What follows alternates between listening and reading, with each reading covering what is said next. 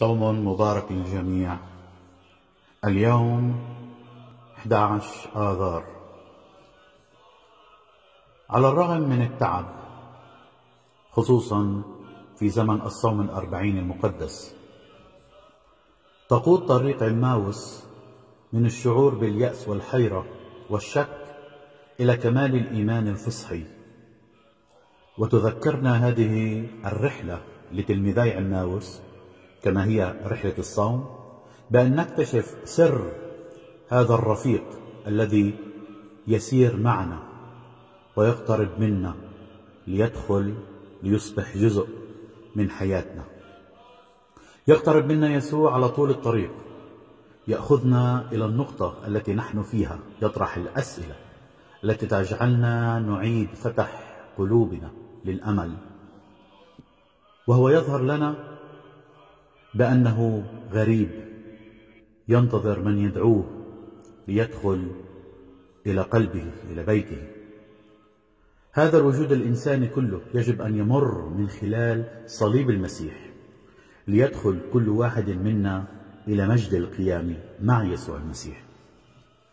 والمسيح قد أنجز ما هو أكثر من ذلك. لقد كسر لنا الخبز وجعلنا نشاركه. ونتشاركه أيضا مع إخوتنا. وهبنا مائدة الإفخارستية حيث يوجد الكتاب المقدس ويكتسب معناه الكامل ويعطينا فعلا معنى الحياة التي جددها يسوع المسيح بموته وقيامته. وبعد الاعتراف والتفكير في وجه المسيح القائم من الموت نحن أيضا على مثال تلميذي عماوس مدعوون لأن نسرع نحو إخوتنا لكي نحمل لهم الخبر الصار. نعم لقد رأينا الرب. ونحن بعد نهاية هذه الرحلة في زمن الصوم المبارك نزف لكل إخوتنا هذا الخبر الصار. نعم لقد قام المسيح وأقام معا. في ارتفاعه كل الحياة ارتفعت.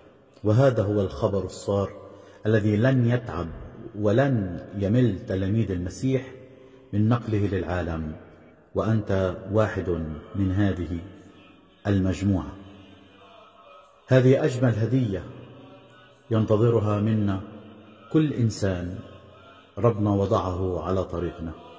في هذا الزمن زمن الصوم لنصل معا إلى زمن الفصح المجيد إلى الحياة الجديدة. بيسوع المسيح القائم من بين الأموات. آمين.